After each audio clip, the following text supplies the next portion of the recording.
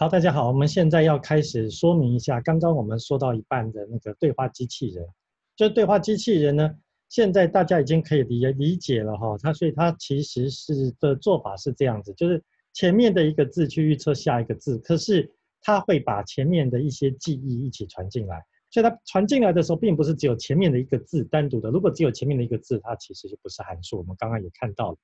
那这样子的话，为什么可以变成一个对话机器人呢？我们来看一下下。好，对话机器人好。哎，不是这一页，在下一页。好，然后我们就可以看到这一页，我们就可以看到说对话机器人的设计为何为何，只是一个很简单，前面一个字预测下一个字，我就可以做成对话机器人。那原因是因为这样子哦。现在我们看到的字一、字二、字三、字四、字五、字六这些东西都是呃客户说的话。那回一、回二、回三、回四、回五、回六，就是我们的对话机器人，它要回应客户说的话，就这么简单。那所以在这个地方呢，我们就看到说，哎，这个字一进来的时候呢，它就会输出一个预测下一个字。可是，哦，对，顺再顺便说明一下，这个这个部分它其实是一个完整的神经网络。好，这是一个完整的有 RNN 机制的神经网络，未来我们也会学到。那现在字一进来的时候呢，它就会输出一个字。然后，但是它会预测客户说的下一个字没错啊，但是在对我们的任务当中，我们就只是想要希望说，我们可爱的对话机器人能够回应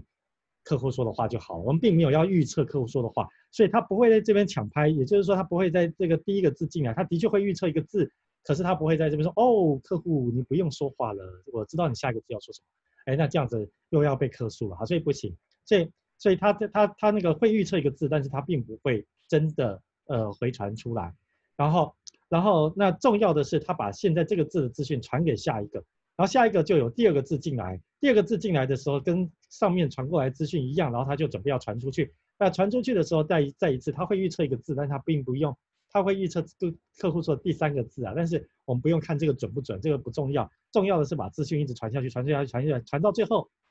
结束的时候呢，结束的时候呢，这个时候已经有一个结束的讯息出来。那电脑就知道说，哎，客户说完话了，然后这个时候再综合前面的传过来的资讯，然后它会回应一个第一个字，再个这个预测的下一个字，还是它真正要回应的第一个字，然后回应的第一个字再拿拉下来，然后再呃送进去，然后才会预测下一个回应的第二个字，然后这样子这一个字一个字一个字下去，它就会说出一句话来。然后等到他最后又说了，哎，可以结束了，那我们才正式的结束。所以这个就是对话机器人的设计方式。未来我们在学 RNN 的时候，也会发现，哎，不止对话机器人，我还可以还可以拿它来去设计什么呢？我还我还可以设计更有趣的一些东西，比方说，我可以设计翻译的系统等等。好，在未来我们学到 RNN 的时候，会为大家介绍。好，再接着下来呢，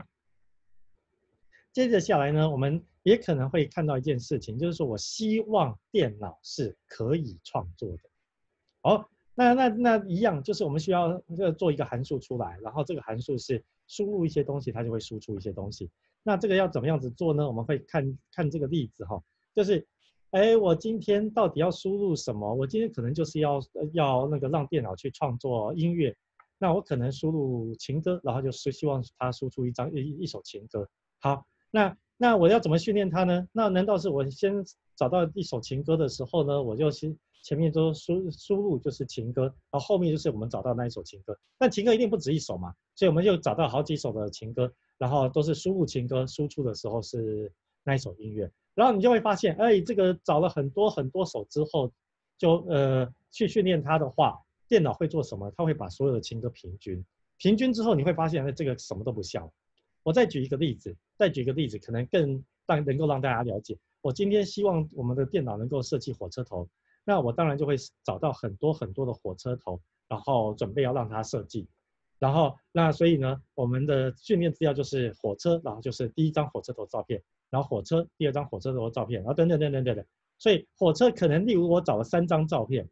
三张火车头照片，那我们就用这个去训练电脑。最后我输入火车的话。电脑如果学成的话，会输出什么呢？它就会输出前面三张照片的平均，就变什么都不像。好，所以我们没有办法用这样的方式去设计我们的函数。那到底怎么做呢？后来发现，哎，这个很有趣。它最后的做法其实是用了两个神经网络，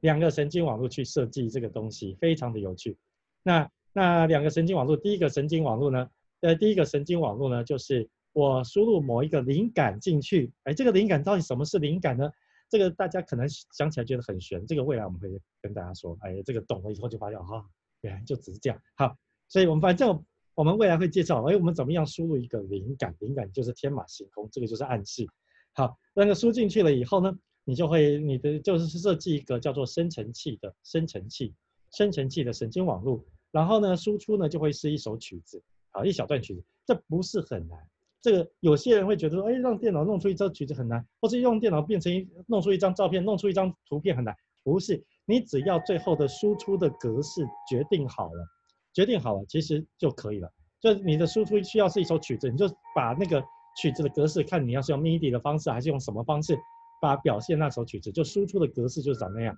那你今天要输出一个。呃，两百五十六乘两百五十六照片，那你可能是 RGB 三张矩阵，所以你就是让它输出三张矩阵，那就好了，就这样，那它就会输出一个东西，当然很乱，可能一开始的时候完全不像，根本不看不出来什么东西，看听起来更不像曲子，但是没关系，我们要训练一个老师给他，那这个老师呢是另外一个神经网络，所以他一共用了两个神经网络去做这件事情，然后第二个神经网络呢，就是这个老师呢，就是输入一段小曲子之后呢，进去了以后呢。出来的时候，我们就要看像或是不像这个曲子，就这样，就这么简单。好，所以这个就是这个就是我们的那个我们的那个 GAN，呃，这个就所谓的生成对抗网络，也就是 GAN，就是 game。好，那那个非常的有趣。那这样，那那那个那个这边身为学生的这个生成器怎么学的？就是。老师告诉，因为他做完那首曲子，老师会告诉他说，哎，像还是不像嘛？所以他就回去再去做调整，然后他最后就会希望说，哎，老师最后觉得他做的曲子很像真的，那他就学成了。好，那这边是一个例子，很有名的一个例子，就是用 game 生成一个明星照，其实是就名人照啊，就名人照。然后这边的基本上都是电脑生成的，所以以前我们都说有图有真相，可是现在会发现说，哦，这个其实不是真实的，它也可以产生的非常非常象征的一样。好，好。